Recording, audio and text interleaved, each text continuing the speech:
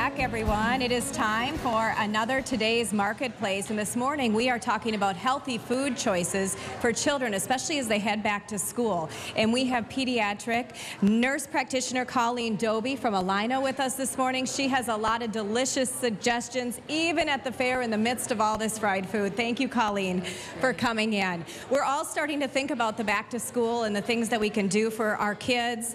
Um, why does this concern you so much? We hear a lot of talk about kids and food and trying to keep that weight down, unfortunately. Well, Heidi, we know that childhood obesity is dramatically on the rise. And this is particularly concerning because these extra pounds can lead children down the path to such health problems as diabetes, hypertension, and high cholesterol. And if we can teach those good habits early, hopefully that will continue through their life. Absolutely. Also, children with uh, children who are overweight often suffer from poor self-esteem, and even depression. Okay, so heading back to school, first thing you say, get that lunch menu. Yep, absolutely. Uh, so here's a large example of the lunch right. menu you may see at your children's school. All right. So it is definitely important to review the lunch menu from school and to look at what would be a healthy choice. Although lunch menus have dramatically improved in the last decade, there are still some choices that may not be the best for all children. So you see, say you see a day that it's just one that you think, oh, my child should avoid that. It's very fatty. Right. That's right. when you go to the cold lunch. Yes. So talk to us about that. And well, first to talk about some of the things that we want to avoid. Uh, you definitely want to avoid pop or juice. And as you can see in one bottle of pop, we have sugar cubes to represent there's this much sugar in one bottle of pop. And even a Gatorade has has a significant amount of sugar in it. And we so, look to that sometimes as a healthy drink, not always the case. That's right. What's better? That's right. A much better choice for a beverage would be milk. Even chocolate milk, low-fat chocolate milk is a very good choice.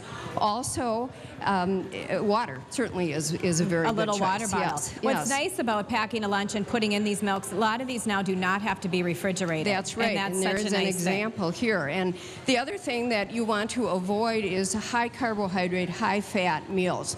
So for instance, looking at the school menu, if, if it's a day when the main entree is something like pancakes with syrup and, and mm -hmm. sausage, it might be a much healthier alternative for a child who with a weight concern to bring a bagged lunch or boxed lunch from home.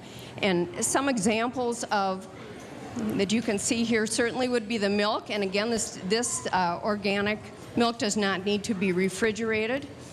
Um, yeah, wanna... we looked at a lot of those, and like the apples, she told me before we got on air that you can sprinkle cinnamon, lemon juice, apple juice, juice, and that will keep them nice and fresh. And if you want to spend a little bit more, you can buy those pre-packs. I want to get over here Absolutely. because this is a great education for all of us on how much food we should be serving our children. She has some little dice here, and mm-hmm. this is how much cheese a child should have, just four little cubes. Well, when you're looking at one serving of cheese, it's approximately the size of those four dice.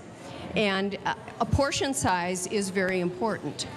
And so when it, it, getting kids engaged in looking at nutrition labels, mm -hmm. um, uh, get them involved in going grocery shopping and planning meals at home and for their lunches. But uh, you need to look at portion size. That's very important because even if you're eating healthy food choices and you are using supersized portions, that is, is going to be problematic and for we, you. Yes, we are out of time, unfortunately. Okay. There's so many great suggestions that she has, but the deck of cards that was sitting there, that's Absolutely, supposed to be how much yes. meat you should have, and just so much good information and good to just get our minds thinking about this. Thank you so much, You're Colleen, welcome. for coming in. For more information about Allina Medical Clinic and the things we're talking about here, call 612-262-3333 or 1-800-877-7877. 78. You can also go online to allina.com slash clinics. Still ahead.